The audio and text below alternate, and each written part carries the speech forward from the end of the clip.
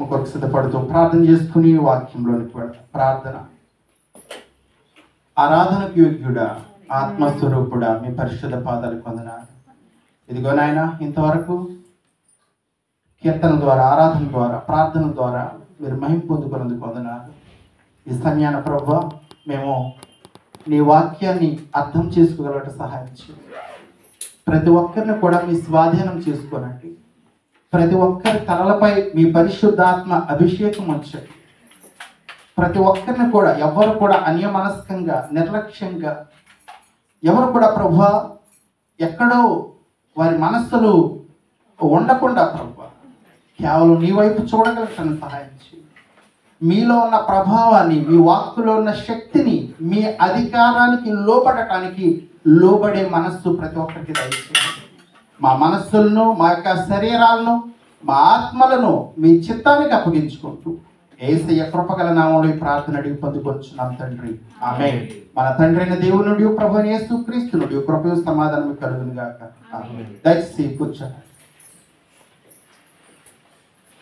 క్రీస్తునందు ప్రియ పరిశుద్ధ దేవుని సంగమా దేవుని కుటుంబమా ఈ మధ్యాహ్నకాల సమయమందు ఎపిఫానియా తర్వాత ఈ మూడవ పునరుత్న ఆదివారంలో మనం ఉన్నాం. ఈరోజు మనకి ఇవ్వబడిన పాఠాన్ని సువార్త పాఠం మార్కు సువార్త మొదటి అధ్యాయం పద్నాలుగు నుంచి పదిహేడు వచనాలు. దయచేసి మీరు తెరిచి బైబిల్ను పట్టుకోండి. నేను ఆ పాఠాన్ని చదివి అందులోంచి మనం కొంత వాక్యాన్ని మనం ధ్యానించే ప్రయత్నం చేద్దాం. అందులో ఉన్న దేవుని సారాంశాన్ని మార్కు సువార్త ఒకటో అధ్యాయము పద్నాలుగు నుంచి నేను చదువుతున్నాను. చూడండి. యోహాను చెరపట్టబడిన తర్వాత యేసు కాలము సంపూర్ణమై ఉన్నది. దేవుని రాజ్యము సమీపించున్నది మారు మనసు పొంది సువార్తను నమ్ముడని చెప్పుచు దేవుని సువార్త ప్రకటించుచు గలిలయకు వచ్చాడు ఆయన గలిలయ సముద్ర తీరమున వెళ్ళుచుండగా సీమోను సీమోనును సీమోను సహోదరుడు అంద్రేయు సముద్రంలో వల వేటు చూచారు వారు జాలరులు. యేసు నా వెంబడి రండి. నేను మిమ్మల్ని మనుష్యులను పట్టు జాలర్లుగా చేసిదనని వారితో చెప్పాడు వెంటనే వారు తమ వలలు విడిచి ఆయనను వెంబడించి. దేవుని నామ స్తోత్రం కలుగుగా క్రీస్తునందు ప్రియ దేవుని బిడ్డ ఈరోజు మన వాక్య భాగపు అంశం ఏసయ్య పిలుపు జీవితానికి మలుపు అనే అంశాన్ని మనం చూడబోతున్నాం. ఒకసారి చెప్తారా అందరూ? ఏసయ్య పిలుపు. జీవితానికి మలుపు. ఏసయ్య పిలిచినప్పుడు మనం ఆ పిలుపుకి లోబడితే మన జీవితం ఒక నిజమైన మలుపు తిరుగుతుంది. దేవుడు కోరుకున్న మలుపు తిరుగు- తిరుగుతుంది. దేవుడు ఆశించిన మలుపు మన జీవితం తిరుగుతుంది. సరే ఈ సమయాన్ని ఆలోచన చేస్తుంటే యేసుక్రీస్తు ప్రభువారు యోర్దాను నదిలో బాప్తిస్మిస్ యోహాను చేత బాప్తిస్మం పొందారు. గత పాఠాల్లో చూసాం. ఏసయ్య బాప్తిస్మం పొందిన తర్వాత అపవాది చేత నలభై దినాలు అరణ్యంలో శోధించబడ్డారు. బాప్తిస్మం పొందిన వ్యక్తి జీవితంలో యేసుక్రీస్తు ప్రభు ఎలాగైతే శోధించబడ్డారో ఈ లోకం చేత సతాను చేత ఏవో కొన్ని సమస్యల చేత ప్రతి వ్యక్తి కూడా శోధించబడతారు. ఆ శోధనకి భయపడకూడదు. ఆ శోధన కాలంలో మీరు పై వచ్చినాలో చదివితే ఎంత అద్భుతంగా ఉంటుందంటే ఏసై కంట దేవదూతల పరిచయం చేస్తారు అని రాయబడి ఉంది. ఏసై కంట దేవదూతల పరిచయం చేశారు. మన శోధన కాలంలో మనుషులు మనల్ని విడిచిపెడతారు. దేవుని దూతలు నీతో ఉంటారన్న సంగతి గుర్తుంచుకోవాలి. దేవుని దూతలు నీకు కనబడరు వాడు. మనుషులంతా నన్ను విడిచిపెట్టారు అనుకుంటా. కోర్స్ అది అలా ఉంచుదాం. కాబట్టి నలభై రోజుల శోధన కాలం ముగిసింది. శోధన కాలం ముగిసిన తర్వాత ఏసయ్య ఆయన యొక్క ప్రారంభ సువార్తన ప్రారంభ వేదికగా గలిలయ ప్రాంతాన్ని ఎన్నుకున్నారు. గలిలయ అనేది ఒక సముద్ర తీర ప్రాంతం.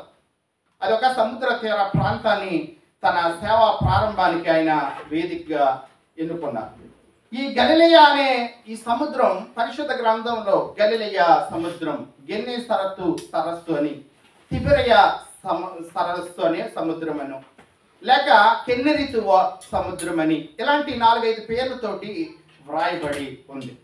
సరే ఈ గలిలియా అనే ఈ సముద్రము పెద్ద పెద్ద సముద్రం ఏమీ కాదు మన బంగాళాఖాతం లాగా దీని యొక్క కొలతలు చూస్తూ ఉంటే కనుక ఈ గలిలయ సముద్రం తూర్పు నుండి పడమరకు ఎనిమిది మైళ్ళ విస్తీర్ణం కలిగింది తూర్పు నుంచి పడమరకు ఎనిమిది మైళ్ళు.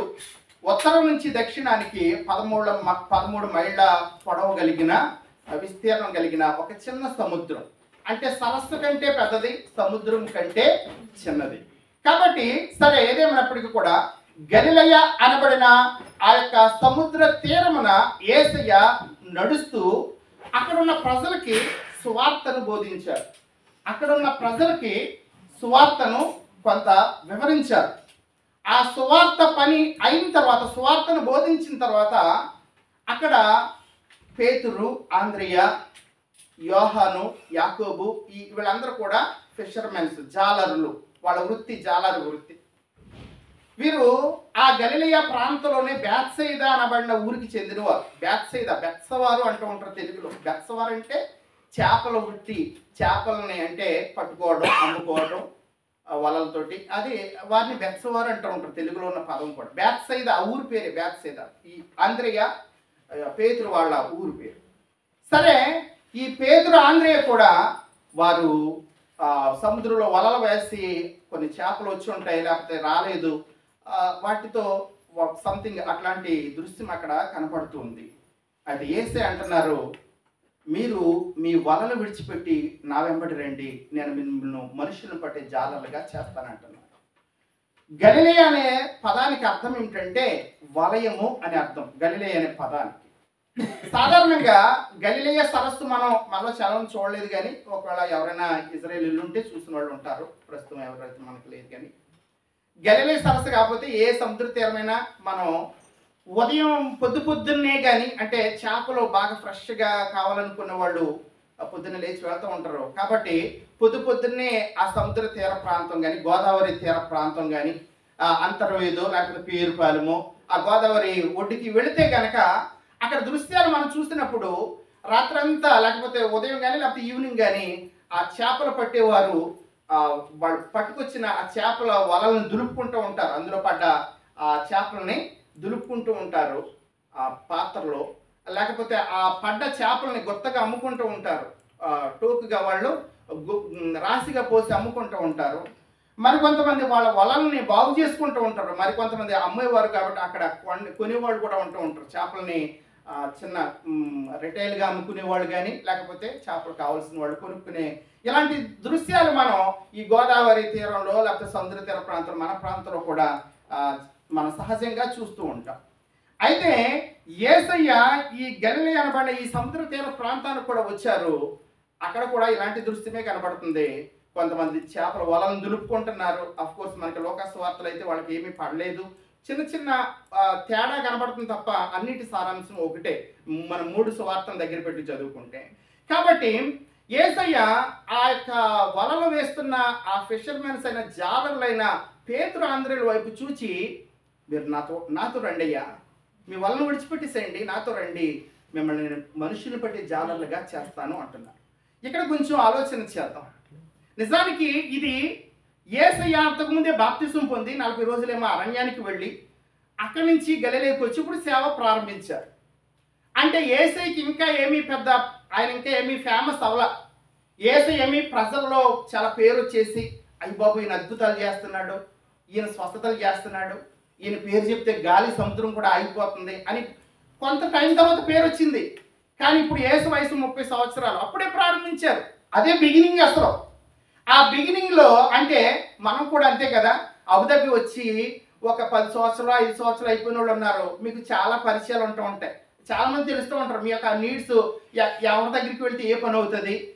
లేకపోతే ఏ మనం ఆఫీస్కి వెళ్తే ఎక్కడ ఏం పనులు అవుతాయి? అనుభవం వచ్చేసి ఉంటుంది ఐదు పది సంవత్సరాలు వచ్చి- కానీ మీరు వచ్చిన కొత్తలో అంతా కొత్తగా కనపడుతూ ఉంటారు.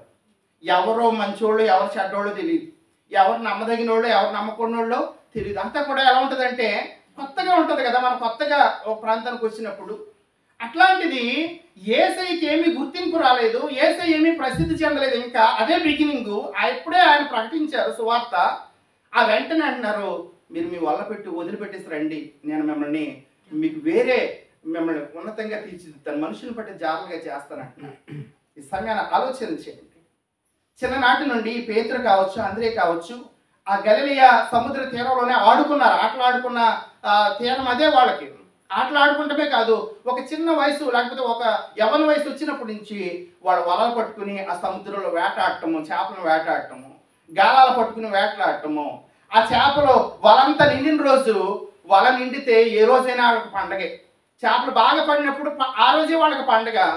ఒకవేళ పండగ రోజైనా సరే ఆ వలలో ఏమి పడలేదనుకోండి ఆ రోజున ఏమి పడలేదంట. పండగ అయినా సరే ఆ రోజున పస్తే ఆ రోజు వాళ్ళకి ఏమి పండకూడదు ఎందుకంటే చేపలు ఏమి పర్లేదు కాబట్టి డబ్బులు ఏమి ఉండవు కాబట్టి. ఇప్పుడే చెప్పారు కదా రెడ్డి గారు ఇది దేనికైనా సరే ఆ మూలం ఏంటంటే కేంద్రం డబ్బు. కాబట్టి ఆ రోజున చేపలు ఏమి పండకపోతే ఎలా వస్తుంది? రూపాయి రాదు కదా. పిల్లలకి ఏం పట్టుకెళ్తారు?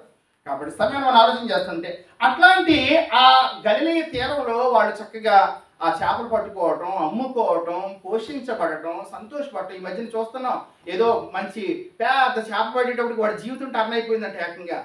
కొన్ని లక్షల రూపాయలు వచ్చేసినాయి అంట ఆవిడకి. అప్పుడు వాటి చేపలు చాలరే కానీ ఇప్పుడు ఆ ఒక మంచి చేప ఖరీదైన చేప పడేటప్పటికి ఆ జీవితం మారిపోయినట్టు. అట్లాంటిది ఏ రోజైనా మన బ్రతుకులు మారిపోతాయా? మన జీవితం మారిపోతుందా లేకపోతే మన యొక్క కుటుంబము మనం చూస్తూ ఉంటే ఆ జాతర వాడు పెద్ద ధనవంతులు ఏమీ కాదు. చాలా చాలా పేదవారిగానే ఉంటూ ఉంటారు. అట్లాంటి స్థితిలో ఉన్న ఆ ఆ యొక్క పేద స్థితిలో ఉన్న జాలరుని ఏసే అంటున్నాడు నువ్వు నీ వల వదిలిపెట్టే. నేను నన్ను నమ్మి నువ్వు రా అంటున్నాడు. నేను నమ్మడానికి అసలు ఏసయ్య అంతకు ముందేమి పరిచయం లేదే వాళ్ళకి. మనం మనకు బాగా తెలిసిన వాళ్ళు నమ్ముతాం. అబ్బో ఈయన చాలా నమ్మకమైన వ్యక్తి అండి. ఈయన మాటిస్తే తప్పడండి. అయ్యో వీడు మాటిస్తాడు కానీ ఆ మళ్ళీ ఫోన్ ఎత్తి చేస్తాడండి. అలాంటి నమ్ముతాం కాబట్టి ఒక పరిచయం లేని వ్యక్తిని మనం నమ్మం. అబ్బో ఈయన మాట పట్టుకుని మనం ఎలాగ ముందుకెళ్ళగలం అని ఒక పరిచయం లేని వ్యక్తిని నమ్మం. ఏసయ్య చెప్పాలంటే అదే ప్రారంభం చెప్తున్నాం. కాబట్టి అలాంటి ఒక పరిచయం లేని వ్యక్తిని నమ్మి వలను వదిలిపెట్టేమంటున్నాడు ఆయన. ఏమి ఏదో ఇంకోటి ఏదో కాదు వలను వదిలిపెట్టేమంటున్నాడు. నిజానికి ఈ వలను వదిలిపెట్టేయడం అంత చిన్న విషయం కాదు. ఎందుకంటే ఆ వల ఏదో వాళ్ళ సరదాగా మనవాడు చాలా మంది ఆ గాలానికి వెళ్తూ ఉంటారు. అది వాళ్ళకి ఏమంటాం హాబీ అంటే ప్రవృత్తి అంటే సరదా అనమాట అది. పడితే పడతా ఏదో కష్ట సరదా అంతే ఎంటర్టైన్మెంట్కి వెళ్తూ ఉంటారు. కానీ జాలర వాడి అది ఎంటర్టైన్మెంట్ కాదు అది బ్రతుకు తెరువు అది వాళ్ళ జీవనాధారం ఆ వల అనేది జీవనాధారం. వాళ్ళని పెళ్ళం బిడ్డలు ఆ వల మీద ఆధారపడి ఉన్నాయి. అలాంటి కుటుంబానికి ఆధారమైన వలని ఏసేయమంటున్నారంటే నువ్వు వదిలిపెట్టే. నా మీద నమ్మకం ఉంచు అంటున్నారు. అదంత చిన్న విషయం కాదండి అంత వల వల వదిలిపెట్టేటువంటి. ఒక మాట చెప్పాలనుకుంటున్నాను భారతదేశంలో మన ఇండియాలో సచిన్ టెండూల్కర్ పేరు తెలియని వ్యక్తి అంటే ఎవరు ఉండరు. సచిన్ టెండూల్కర్ అనే మనం క్రికెట్ చూసినా చూడకపోయినా సచిన్ టెండూల్కర్ పేరు ఆటోమేటిక్గా తెలిసిపోతుంది ఎందుకంటే ఆయన అంత ఫేమస్ కాబట్టి. ఆయన సుమారు పదహారు సంవత్సరాల అప్పుడు అనుకుంటే పదహారు సంవత్సరాల వయసులో ఇంటర్నేషనల్ క్రికెట్ ఆడటానికి ఆయనకి అవకాశం వచ్చింది అప్పటి నుంచి దరిదాపు ఇరవై ఆరు సంవత్సరాలు ఇరవై ఏడు సంవత్సరాలు ఆయన అద్భుతమైన క్రికెట్ ఆడి ప్రపంచంలోని కేవలం ఇండియాలోనే కాదు ప్రపంచంలోని అనేకమైన దేశాల్లో ఆయన క్రికెట్ ఆటకి అభిమానులు సంపాదించుకున్నాడు. క్రికెట్ ఆటలో ఆయన సాధించని రికార్డు లేదు. అలాగా క్రికెట్కి ఇంకా ఆయన ఒక క్రికెట్కి ఒక ఐకాన్. ఈ రోజున్న అనేక మంది క్రికెటర్స్కి ఆయన ఇన్స్పిరేషన్ ఆయన స్ఫూర్తి. అలాంటి సచిన్ టెండూల్కర్ ఇరవై ఆరు ఇరవై ఏడు సంవత్సరాల తర్వాత ఆయన ఒకనొక రోజు ఇంకా ఆడి ఇంకా కొత్త వాళ్ళకి అవకాశం ఇవ్వాలి కాబట్టి తనకి రిటైర్మెంట్ ప్రకటించాడు. నేను ఇదే చివరి మ్యాచ్ అని బహుశా ముంబై వాంకడి స్టేడియంలో అనుకుంటా తనకి చివరి మ్యాచ్ ఆడారు. ఆ రోజున ఇంకా ఆయన అభిమానులు అందరూ కూడా స్టేడియం అంతా నిండిపోయారు. మామూలుగానే నిండిపోతారు. అలాంటిది స్టేడియం అంతా ఇంకా సచిన్ టెండూల్కర్ ఆఖరి మ్యాచ్ కాబట్టి ఇంకా అసలు ఎంత టికెట్ అయినా పోయి మొత్తం అంతా నిండిపోయారు. క్రికెట్ ఆట అయిపోయింది. ఆట అయిపోయింది. ఆట అయిపోయిన తర్వాత అందరూ కూడా అలాగే చూస్తున్నారు. ఆ సాధారణంగా ఆట అయిపోయిన తర్వాత వెళ్ళిపోతారు కానీ ఈ రోజు వెళ్ళిపోవట్లేదు. ఎందుకంటే అది సచిన్ ఆఖరి రోజు. ఇంకా యంగ్ క్రికెటర్స్ ఏమో తమ అభిమాన సచిన్ టెండూల్కర్ని భుజాల మీద ఎత్తుకుని అతను రెండు కాళ్ళు మన చిన్నపిల్లని ఎత్తుకున్నట్లుగా సచిన్ టెండూల్కర్ భుజాలు ఎత్తుకుని గ్రౌండ్ అంతా లోపల తిప్పుతున్నారు అనమాట లోపలంతా తిప్పుతున్నారు. లోపలంతా తిప్పుతూ ఉంటే ఆ ఆ దృశ్యాన్ని అనేక మంది చూస్తున్నారు. చూస్తూ ఉంటే ఒకలాంటి కేకలు ఇవన్నిటితో పాటు ఒక నిశ్శబ్దం కనబడుతుంది. అలాగా క్రికెటర్స్ యంగ్ క్రికెటర్స్ సచిన్ మోస్తా ఉంటే సచిన్ టెండూల్కర్ కళ్ళలో మాత్రం కన్నీళ్ళు రాలుతూ ఉన్నాయి. కన్నీళ్ళు రాలుతూ ఉన్నాయి. సచిన్ టెండూల్కర్ కళ్ళలోనే కాదు అక్కడ ఉన్న అనేక మంది సచిన్ అభిమానులు కళ్ళు కూడా చెమర్చి కన్నీళ్ళు రాలుతాయి ఎందుకంటే తనకిష్టమైన బ్యాట్ని ఇంకా ఆ రోజు ఇంక పట్టుకోడు. ఇంక ఇష్టమైన బ్యాట్ని నెక్స్ట్ తర్వాత ఏ మ్యాచ్ మీద కూడా ఏ ఏ దేశం మీద కూడా ఇంకా ఆడడు. ఎందుకంటే ఆ రోజుతో ఆ బ్యాట్ను వదిలేయబోతున్నాడు. వదిలేయబోతున్నాడు. పదహారు సంవత్సరాలు పట్టుకున్న బ్యాట్ ఎలాంటి బౌలర్ అయినా ఎలాంటి వాడినైనా సరే చాలా అద్భుతంగా సమాధానం చెప్పిన క్రికెటర్ ఇంకొక మాట చెప్పాలనుకుంటున్నాను. అసలు ఈ సచిన్ టెండూల్కర్ యొక్క జీవితాన్ని గురించి అంటే ఒక మాట చెప్పాలనుకుంటున్నాను. అతనికి అతని యొక్క కుటుంబము బ్యాట్ క్రికెట్ తప్ప ఇంకో జీవితం కూడా తెలియదు అసలు. ఇంకో జీవితం కూడా అసలు అతను ఆలోచించేవాడు కాదు. అంతగా ఇష్టపడ్డాడు.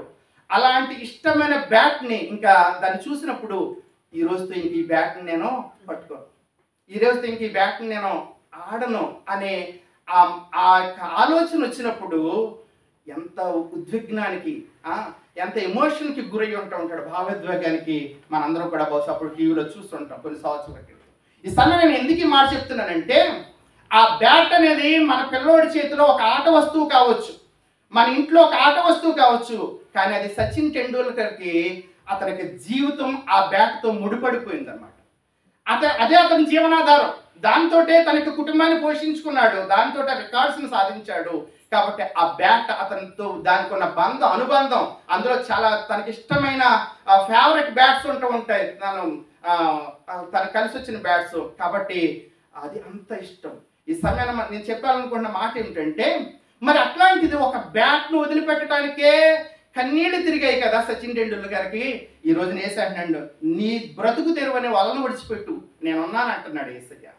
ఈ ఆలోచన చేయండి మన హిందూ పండుగల్లో మన మనం మనం మనకు అన్నం పెట్టే కొన్ని వస్తువులు ఉంటూ ఉంటాయి. రైతులకి ఒక నాగలు కావచ్చు లేకపోతే కొన్ని పనిముట్లు ఉంటూ ఉంటాయి కదా నాగలు కావచ్చు ఇలాంటి బండి కావచ్చు బండి ఆ ఇడ్లు ఇలాంటి వాటిని కొన్ని పండగలప్పుడు దేవుని తర్వాత వాటిని కూడా పూజిస్తారు. వాటిని కూడా పూజిస్తారు. అంత గౌరవిస్తారు మన దేశంలో. ఎందుకంటే అవి మనకు అన్నం పెడుతున్నాయి. అవి మన మన కుటుంబాన్ని పోషిస్తున్నాయి కాబట్టి దేవుని తర్వాత ఆ యొక్క ఎడ్లను కావచ్చు ఆ ఎద్దులను కావచ్చు ఏమండి? ఆ యొక్క నాగలను కావచ్చు దేవుని తర్వాత వాటికి కూడా గౌరవిస్తూ ఉంటారు పూజ చేస్తూ ఉంటారు. మనం చూస్తూ ఉంటాం. ఇవన్నీ కూడా సహజంగా. అట్లాంటి వలను ఈ రోజుతో నువ్వు ఇంకా విడిచిపెట్టు. నేను నీకున్నాను అని ఒక పరిచయం లేని వ్యక్తి మాటను నమ్మి అడుగు వేయమంటున్నాడు ఏసయ్య. అడుగు వేయమంటున్నాడు. ఈ సమయం నేను చెప్పాలనుకున్న మాట ఏమిటంటే విశ్వాసము అంటే విశ్వాసం అంటే మన యొక్క కంఫర్ట్స్ అన్నీ చూసుకుని మన అనుకూలతలు అన్నీ చూసుకుని ఈ ఊరైతే బాగుంటుంది ఆ ఈ ఉద్యోగం అయితే బాగుంటుంది లేకపోతే ఇక్కడైతే బాగుంటుంది అని మనం కంఫర్ట్ చూసుకుని అడుగు వేయడం విశ్వాసం కాదు. అది కాదు విశ్వాసం అంటే ఏం జరుగుతుందో తెలియదు ఏముందో తెలియదు ఏ సమస్యలు వస్తాయో తెలియదు అయినా పర్వాలేదు నా దేవుడు ఉన్నాడు అని అడుగు వేయగలగటమే అది విశ్వాసం. ఏం జరిగినా పర్వాలేదు ఏమున్నా పర్వాలేదు ఏం జరిగినా నా దేవుడు నాతో ఉంటాడు అని అడుగు వేయటమే విశ్వాసం. క్రీస్తునందు ప్రియమైన బిడ్డారా ఈ రోజున మన యొక్క సువార్త పరిచర్యలో కూడా కొంతమంది అంటే నేను విమర్శించడానికి చెప్పట్లేదు అర్థమవటానికి కోసం చెప్తున్నాను. కొంతమంది పాస్టర్స్ మాలాగా బైబిల్ ట్రైనింగ్ అయ్యి పాస్టర్లమైన వాళ్ళు ఉన్నారు. అలాగే కాకుండా కొంతమంది టీచర్స్ చేస్తా ప్యారలల్గా అంటే ఇటు టీచర్ చేస్తూ ఉంటారు నైట్ ఎవరైనా పిలిస్తే దేవుని సువార్త అంటే కేవలం ఇళ్ళలోనే కాదు సువార్త సభల్లో కూడా వాడబడుతున్న వారు ఉన్నారు. లేకపోతే ఇంకా పెద్ద పెద్దగా వాడబడుతున్నారు టీచర్సే కాదు ఇంకా ఉద్యోగాలు చేసుకుంటూ కూడా వాడబడుతున్న వారు ఉన్నారు. అయితే ఒక ఒక అనుభవం వచ్చిన తర్వాత ఈ యొక్క ఒక టీచర్ గారు కావచ్చు ఇంకోళ్ళు కావచ్చు ఆ టీచర్ జాబ్కి రిజైన్ ఇచ్చేసి మేము టీచర్ జాబ్కి రిజైన్ ఇచ్చేసి దేవుని సేవకు వచ్చామండి. దేవుడు మాకు ఇచ్చిన గవర్నమెంట్ ఉద్యోగానికి కూడా మేము రిజైన్ ఇచ్చేసి దేవుని సేవకు వచ్చామండి. కొన్నిసార్లు అంటే తగ్గింపుగా చెప్పుకుంటే మంచిదే కానీ అతిశయంగా చెప్పుకుంటూ ఉంటారు. అంటే గొప్పగా మేము ఏదో త్యాగం చేసి దేవుని సేవకు వచ్చేసాం. ఇక్కడ ఒక విషయం చెప్పమంటారా? అంటే నువ్వు నిజంగా నీ యొక్క దేవుని సేవను అంటే ప్రేమించి వస్తే మంచిదే కానీ నువ్వు ఎట్లా వచ్చావు ఒకసారి ఆలోచన చేయండి. నువ్వు టీచర్గా ఉన్నావు అంటే నీ ఒక కంఫర్ట్ జోన్లో ఉన్నావు. ఉంటూ దేవుడు నీకు ఇచ్చిన వాక్యమో దేవుడికి ఇచ్చిన నీ ఒక అనుభవమో దీన్ని చెప్పుకుంటూ వచ్చావు. చెప్పుకుంటూ వచ్చి రావడం ద్వారా నీకు కొంత పరిచయాలు ఉన్నాయి ఏర్పడ్డాయి. ఆ కొన్ని సంఘాలు కొన్ని ఊర్లతోటి పరిచయాలు ఏర్పడ్డాయి. కాబట్టి ఇప్పుడు నిన్ను పిలిచేవారు ఉన్నారు. నిన్ను మీటింగ్స్ పిలిచేవారు లేకపోతే నిన్ను ఉపయోగించుకునేవారు. సోర్సెస్ బాగానే ఉన్నాయి. కాబట్టి ఇప్పుడు నేను జాబ్కి రిజైన్ చేస్తున్నాను కానీ నాకేమీ కొరత ఉండదు. నేను చక్కగా చాలా చోట్ల వాడబడవచ్చు నాకు ఎవరు కాలం పలానా వాడు పిలుస్తారు. పలానా నమ్మకంగా ఇదిగో ఈ వారం ఈ చర్చలు ఈ వారం ఈ చర్చలు. కాబట్టి నువ్వు అన్ని ఇదే నేను ఇందా చెప్పింది. నువ్వు కంఫర్ట్ చూసుకుని నువ్వు సౌకర్యవంతం నువ్వు పేరు ప్రఖ్యాతలు తెచ్చుకుని అప్పుడు జాబ్కి రిజైన్ చేసి రావటం అనేది పెద్ద విశేషమైన విషయం కాదు. ఆల్రెడీ నీకు పేరు వచ్చేసింది నీకు గుర్తింపు వచ్చింది. ఇప్పుడు నిన్ను ఎవరైనా కావాలని కోరుకుంటారు. కానీ ఈ సమయాన నిజంగా దేవుని సేవ అంటే నీకు ఏ పేరు లేనప్పుడు ఏ గుర్తింపు లేనప్పుడు అసలు నీలో ఉన్న వాక్యం గురించి ఎవరికి తెలియనప్పుడు అప్పుడు నీ జాబ్ లేకపోతే నీ సంథింగ్ నీకు నీ బెనిఫిట్ నువ్వు దాన్ని వదిలిపెట్టుకో. అది విశ్వాసం అంటే అది విశ్వాసం. అయితే ఈ సమయం నేను చెప్తున్న మాట ఏమిటంటే ఇప్పుడు ఒక రోజు వలల వాళ్ళ చేపలు పడతాయో ఇంకో రోజు పడ- పడకుండా ఉండవు. అన్ని రోజులు పడకుండా ఉండవు అన్ని రోజులు సమృద్ధిగా పడిపోవు. కానీ ఈ రోజున వాళ్ళు ఏదో ఉన్నంతలో వాళ్ళు తింటూ ఉన్నారు. కానీ ఈరోజు చేసి అంటున్నాడు నీ వల్ల ఇక మీద నువ్వు పట్టుకోకూడదు. నాతో రా నేను మనుషుల్ని పట్టే విద్యను నేర్పిస్తాను. ఇక్కడ ఒక విషయం ఆలోచిద్దామండి అదేంటంటే మనలాంటి వాడు ఏమంటాం అంటే ప్రవ్వా చేపలు పట్టుకుంటే డబ్బులు వస్తాయి అమ్ముకుంటేనే. మనుషుల్ని ఏం చేసుకుంటామయ్యా? ఏమండి? మనుషులు అమ్ముకుంటే ఒక క్రైమ్ కదా? మనుషుల్ని మనుషులు ఏం చేసుకుంటాం? నిజంగా మళ్ళాంటి వాళ్ళని అయితే అలాంటి తార్కికంగా ఆలోచించేస్తాం కానీ అక్కడ గమనించదగిన విషయం ఏంటంటే వారు వలవేసి చూచిన వారు జాలర్లు ఏసు నా వెంబడి రండి నేను మిమ్మల్ని మనుషులను పట్టే జాలర్లుగా చేస్తాను. నేను మిమ్మల్ని మనుషులను పట్టే జాలర్లుగా చేస్తాను. నా మాటను మీరు నమ్మినట్లయితే నేను మీకు పరిచయం లేకపోయి ఉండొచ్చు. లేకపోతే నేను నాకు ఇంకా పేరు ప్రఖ్యాతులు వచ్చి ఉండకపోవచ్చు. కానీ మీరు నా మాట నమ్మితే నేను మిమ్మల్ని ఎలా ఉంచాలో అలా ఉంచుతాను అని ఏసయ్య ఒక ఒక వాగ్దానం ఒక ప్రామిస్ వాళ్ళకి ఇస్తున్నారు. క్రీస్తునందు ప్రీతిని బిడ్డ ఇక్కడ ఒక విషయం చెప్పడానికి నేను ఇష్టపడుతున్నాను. మన పిల్లల్లో చూడండి ఈ రోజున మన పిల్లలు ఎంతో కొంత ఆ దేవుని కృపను బట్టి ఎంత ఏ తల్లికైనా సరే ఏ తండ్రికైనా నా పిల్లోడు గొప్పోడు అవ్వాలని ఉంటుంది. నా పిల్ల గొప్ప బాగా చదువుకోవాలని అంటూ ఉంటుంది. కాబట్టి మన ఆశ ఒకవేళ మన పిల్లలు మన ఇక్కడ ఎంత కష్టపడ్డామో లేకపోతే ఇండియాలో కావచ్చు కూలి పని చేసుకునే వాళ్ళు ఉన్నారు ఉద్యోగం చేసుకునే వాళ్ళు ఉన్నారు ఏదో పని చేసుకునే వాళ్ళు ఉన్నారు. నా పిల్లోడు గొప్పగా చదువుకోవాలి నా పిల్లోడు బాగా చదువుకోవాలి. అందరి ఆశ అంతే. మంచిది. దేవుని కృపను బట్టి మన పిల్లలు బాగా చదువుకుంటే మంచిదే. అయితే మన పిల్లలు కొంచెం బాగా చదువుకుంటే ఎవరికి అనుకో కొద్దిగా ఏదో బైపీసీ తీసుకుంటే చాలు. ఆ డాక్టర్ చదివించేస్తే బాగుంటుంది అని ఏదో అక్కడ ఆశ ఉంటూ ఉంటుంది అక్కడ లేకపోతే ఇంజనీరింగ్ చదివించేస్తే బాగుంటుంది. ఓకే మంచిదే. అయితే మనం ఈ ఇంటర్మీడియట్లో ఏ తొంభై లేకపోతే తొంభై దాటేటప్పటికి సరే ఇంకా చైతన్య ఎక్కడ ఉందో ఎక్కడ బాగుంటుందో లేకపోతే నారాయణ ఎక్కడ బాగుంటుందో ఆదిత్య ఎక్కడ బాగుంటుందో ఇంకే సంథింగ్ కాలేజీలు ఉన్నాయి కదా తిరుమల సంథింగ్ కాబట్టి వెతుకుతూ ఉంటాం. వాడి దగ్గర తీసుకెళ్తే కనుక మన పిల్లోడు టెన్ బై టెన్ టెన్త్ క్లాస్లో లేకపోతే ఇంటర్మీడియట్లో నైంటీ దాటితే కనుక ఓకే మంచిదే. మీ పిల్లోడు బాగానే మెరిట్ ఉంది. ఆ జాయిన్ చేయండి. మేము చూసుకుంటాం అంటారు. మన పిల్లోడికి మన పిల్లకి కానీ థర్టీ ఫైవ్తో పాస్ అయ్యారు అనుకోండి. ముప్పై ఐదు మార్కులు ముప్పై ఆరు మార్కులు అట్టేసిన మార్కులతో పాస్ అయ్యారు. తీసుకువెళ్ళి మనకేమో ఆయన్ని డాక్టరో ఇంజనీరో చేయాలని ఉంది. కాబట్టి పోలే మనం డబ్బులు ఖర్చు పెట్టి చైతన్యలో నా- నారాయణలో వేద్దాం అనుకుంటే ఆడు మార్కులు చూసి అంటాడు ఏంటి ముప్పై ఐదా? మా కాలేజీలో సీటా? డబ్బులు కడతానంటున్నావు డబ్బులేం కాదు. నీకు సీట్ ఇస్తాడా? పిల్లలకు సీట్ ఇస్తాడా? ఎందుకంటే నీకు సీట్ ఇస్తే వాడి వాడి యొక్క కాలేజ్ యొక్క పేరు పోతుంది. వాడి కాలేజ్ పేరు పోతుంది ఎందుకంటే నీ పిల్లోడు ముప్పై ఐదు అంటే వాడు దాన్ని బట్టి నీ మార్కుని బట్టి అంచనా వేస్తూ ఉంటాడు వాడు వాడి యొక్క ఎబిలిటీ ఏంటో. కాబట్టి ముప్పై ఐదు ముప్పై ఆరు వచ్చిన వాడికి సీట్ ఇవ్వడు అక్కడ ఇచ్చడు ఎప్పుడు ముప్పై ఐదు ముప్పై ఖచ్చితంగా ఇవ్వడు నువ్వేమి దాని దండం పెట్టినా ఇవ్వడు తొంభైలు దాటితేనే ఇస్తాడు. అంటే ఆల్రెడీ మెరిట్ స్టూడెంట్స్ని తీసుకుని వాళ్ళని షైన్ అప్ చేసి వాళ్ళకి ర్యాంకులు వచ్చేలా చేయడం సులభం ఈజీ కాబట్టి వాళ్ళే మాత్రమే తీసుకుంటాడు కానీ ఏసయ్య ఏసయ్య మన యొక్క కాలేజ్ వాళ్ళకి లాగా మెరిట్ వాళ్ళని తీసుకుని ఇంజనీర్ని తీసుకుని సాఫ్ట్వేర్ రంగంలో తీసుకుని ఆయన శిష్యులుగా చేసుకోవాలి? ఎవరిని తీసుకున్నాడంట? జాలని వాళ్ళని తీసుకున్నాడు. ఆయన పుట్టినప్పుడు ఎవరికి చెప్పించాడు దేవదూత వచ్చి ఆయన పుట్టినప్పుడు గొర్రెల కాపలకి చెప్పించాడు. అయ్యా వెళ్ళి చూడండి. వెళ్ళి చూడండి ఒక మహానుభావుడు పుట్టాడు ఒక రక్షకుడు పుట్టాడు. వెళ్ళి చూడండి అని గొర్రెల కాపలకి చెప్పించాడు. ఏమండి? ఆయన శిష్యులుగా జాలర వాళ్ళని ఏర్పాటు చేసుకున్నాడు అందరూ జాలరలే ఒక మత్తి తప్పిస్తే. ఇంకా మనం చూస్తే ఆమోసు పరిచ పాత్ర నిబంధనలో ఒక పశువుల కాపరి మేడపండు ఏరుకుని ఒక పశువుల కాపరి ఆమోస్ని ప్రవక్తగా దేవుడు ఎన్నుకున్నాడు. ఈ సమయాన్ని మనం ఆలోచన చేస్తుంటే కనుక ఈ సమయాన దేవునికి కావాల్సింది ఏంటంటే నీ ఎబిలిటీ కాదు నీ అవైలబిలిటీ. దేవునికి కావాల్సింది నీ సామర్థ్యం. నేను ఎంత నేను ఎంత గొప్ప నేను ఇన్ని అనుకోవడము ఇదే దేవునికి అక్కర్లా. నీ నీ యొక్క అనుకూలత అంటే దేవుడికి కావాల్సింది ఏంటంటే ఆయన పిలిచినప్పుడు నువ్వు లోబడే మనసు ఆయనకి కావాలి. ఇక్కడ ఏసై పిలిచాడు అంతే. నా వెంబడి రండి నేను మనుషులు పట్టే జాగ్రత్తగా చేస్తానంటే అంతే. వాళ్ళు ఒడిచిపెట్టి వచ్చేసారు అంతే. ఆయన పిలిచినప్పుడు లోబడే మనసు ఈరోజు మనకి కావాలి. ఆయన పిలుపును ఆలకించే ఆ మనసు మనకు కావాలి. చాలాసార్లు దేవుడు పిలుస్తూ ఉంటాడు. ఆయన పిలుపును మనము చెవిని పెట్టం. ఆయన పిలుపును మనం చెవిని పెట్టం. వాక్యం చదువుతున్నప్పుడు ఆ వాక్యం నుంచి దేవుడు పిలుస్తూ ఉంటాడు నిన్ను. ఆ స్వరాన్ని నువ్వు ఐడెంటిఫై చేయాలి. ఏదో ఇలా తెలిసి దేవుడు నన్ను తోడై ఉన్నాడు. దేవుడు నన్ను దీవించిన కాకని చదువుకుని మన పాటికి మనం వెళ్ళిపోవటం. ఆయన పిలుపును ఆలకించే అంతటి ఏకాగ్రత ఏకదృష్టి మనం కలిగి ఉండాలి. దేవుడు పిలు పిలుస్తున్నప్పుడు నీ సమయాన్ని ఆయనకి ఇవ్వగలగాలి. దేవుడు పిలుస్తున్నప్పుడు నీ జీవితాన్ని ఆయనకి ఇవ్వగలగాలి. ఇక్కడ వాళ్ళని విడిచిపెట్టడం అంటే వాళ్ళ జీవితాన్ని ఆ ప్రభుకి అంకితం చేసి ఇంకా ప్రభు యొక్క అడుగుజాడలో నడుస్తున్నారు వాళ్ళు ఇప్పుడు పేతురాంధ్రియాలు కాబట్టి ఈ సమయంలో దేవుని పిలుపుకి లోబడ్డారేమో పేతురు ఆంధ్రే ఆ చేపలు పట్టుకునే పేతురు ఆంధ్రేల్ని దేవుడు ఎక్కడ పెట్టాడో తెలుసా? ఎలా ఉంచాడంటేనంట ఒక మాట చూడండి. అపోస్తుల కార్యంలో ఐదవ అధ్యాయము పదిహేను వచనం చూద్దాం. అపోస్తుల కార్యాలు ఐదవ అధ్యాయం పదిహేను వచనం. అపోస్తుల కార్యాలు ఐదు పదిహేను.